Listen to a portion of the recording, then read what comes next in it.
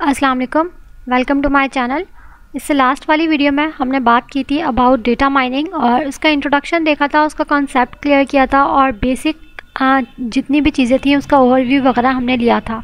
लेकिन आज की इस वीडियो में हम बात करने वाले हैं about the applications of data mining so start करते हैं आज की इस, आज की ये वीडियो अगर आपने इससे लास्ट वाली वीडियो नहीं देखी थी तो इस वीडियो के लास्ट में वो वीडियो शो हो जाएगी वहाँ पर क्लिक करके आप अपना डेटा माइनिंग से रिलेटेड कॉन्सेप्ट क्लियर कर सकते हो।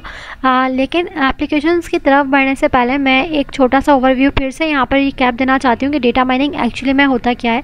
तो इट इज़ बेसिकली अ सब फ़ील्ड ऑफ़ कंप्यूटर साइंस जिसमें आप लोग क्या करते हो we here we try to predict the future information हम लोग फ्यूचर इन्फॉर्मेशन को प्रोडिक्ट करने की कोशिश करते हैं इंटरेस्टिंग पैटर्न्स फाइंड आउट करने की कोशिश करते हैं। ये तो हमने ले लिया, मैंने छोटी सी डेफिनेशन में आपको एक दो लाइंस में कवर कर दिया, लेकिन इसका डिटेल इन्फॉर्मेशन और डिटेल ओवरव्यू अगर आप लोग देखना चाहते हो, जानना चाहते हो तो इस वीडियो के लास्ट में आप लोग वो वीडियो देख लीजिएगा। इस वीडियो में हम बात करने वाले हैं about the application of data mining so here data mining is highly useful in following domains अगर हम लोग बात करें डेटा माइनिंग की तो सबसे ज़्यादा डेटा माइनिंग कौन कौन सी फील्ड्स में यूज़ होता है? मार्केट एनालिसिस के अंदर यूज़ होता है, ठीक है, जिसमें हम लोग डिफरेंट चीज़ें फ्यूचर में क्या होने वाला है, किस टाइप की चीज़ें हमारी रेवेन्यू किस टाइप से इंक्रीज़ कर सकते हैं, कौन से प्रोडक्ट्स हैं जो कि कस्टमर ज़्यादा बाय करने वाले हैं, और ये सब चीज़ें और इन सब की मैनेजमेंट वगैरह हम डेटा माइनिंग के थ्रू कर सकते हैं। इसके अलावा corporate analysis and risk management के अंदर हम डेटा माइनिंग का कॉन्सेप्ट यूज़ कर सकते हैं मतलब आगे हमें कौन कौन से टाइप के रिस्क आ सकते हैं हमारे बिज़नेस के अंदर, इस टाइप की चीज़ें। या हम फ्रॉड डिटेक्शन कर सकते हैं। इसका मतलब ये कि कौन कौन कौन से कस्टमर्स ऐसे हैं जो हमसे फ्रॉड कर सकते हैं या किसी भी टाइप का सिनेरियो हो सकता है जिसके अंदर आप फ्रॉड को डिटेक्ट करना चाह रहे हो तो उसके लिए आप डेटा माइनिंग टूल्स को अप्लाई कर सकते हो। Apart from these data mining can also be use in the areas of production control customer retention science exploration sports astrology and internet web surf aid इसका मतलब ये कि सिर्फ़ और सिर्फ़ मार्केट एनालिसिस और रिस्क मैनेजमेंट फ्रॉड डिटेक्शन तक ही डेटा माइनिंग महदूद नहीं है, बल्कि और डिफरेंट फील्ड्स के अंदर और डिफरेंट एरियाज़ के अंदर भी डेटा माइनिंग टूल्स को हम यूज़ कर सकते हैं ताकि हम अपने फ्यूचर पैटर्न्स को डिस्कवर कर सकें। ठीक है?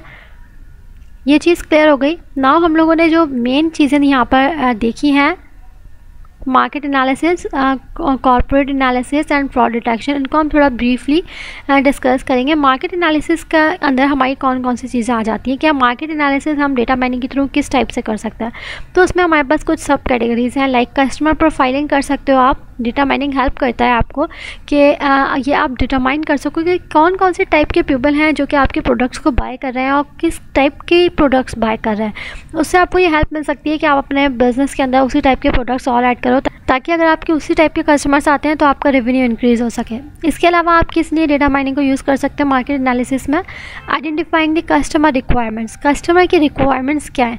प्रीवियस डेटा की बेस के ऊपर जो भी आपका कस्टमर आपके प्रोडक्ट्स को बाय कर रहा है, उनको देखते हुए, उस डेटा उस डेटा को यूज़ करते हुए आप आइडेंटिफाई कर सकते हो कि आपके कस्टमर की रिक्वायरमेंट्स क्या हो सकती है फ्यूचर के अंदर। ठीक है?